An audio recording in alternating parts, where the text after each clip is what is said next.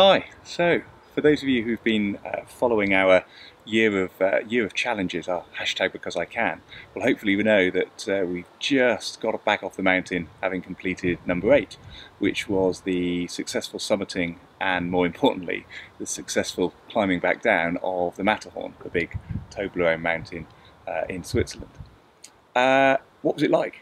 Well, it was tough, really, really tough. Uh, I thought that I had prepared very well.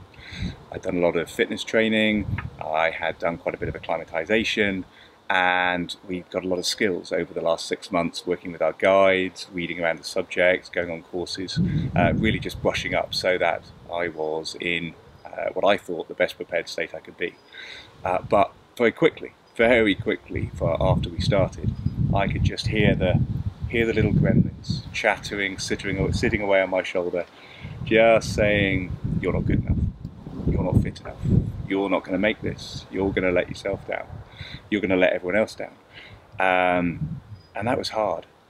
Very, very quickly on, uh, I could feel my, my mindset going down, my, my chin falling, uh, and I just felt, Am I am I going to be able to get to the top? That is a long, long way. You can see the top of the mountain from the beginning, uh, and uh, it just never gets any closer.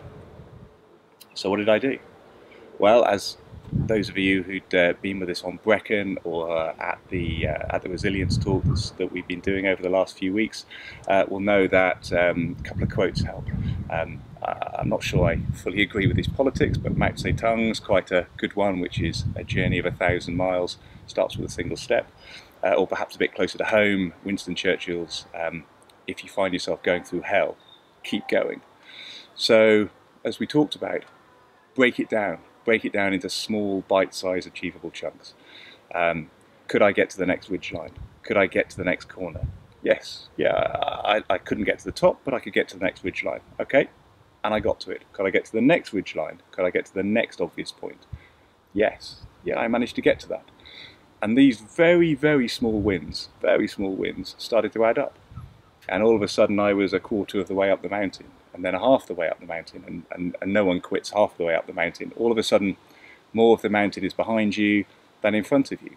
And just achieving those little wins just builds up your confidence and gets you out of that negative uh, downward spiral. It starts to make you feel a bit better. And then all of a sudden, I found myself at the top, at the summit, uh, and there's really only one way to go from there, which is uh, which is back down.